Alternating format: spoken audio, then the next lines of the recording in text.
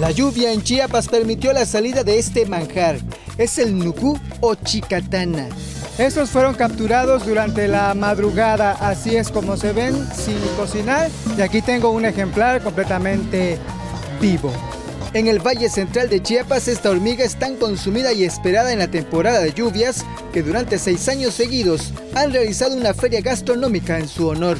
Aquí taquito de... con esta salsita que mira, está de... También está, mira. Este es el taco tradicional, ¿no? Así debe ser.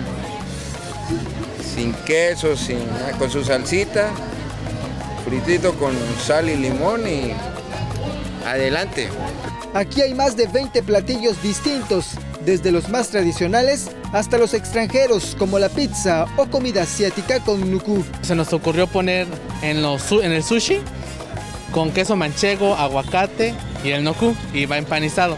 Y lo estamos acompañando con una salsa de piña, con habanero y con noku también, lleva noku triturado. Eh, ahorita pues es un aguachile, cuenta el aguachile de ponerle camarón, le vamos a poner nuku y lo ponemos a la hora.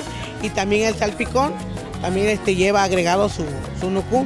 Pues el aguachile le da muy buen sabor porque tiene eh, pepino, cebolla, manguito, muy sabroso, muy rico. Entre mayo y agosto esta hormiga se comercializa en los mercados públicos, llegando a costar un bote de un litro hasta 350 pesos.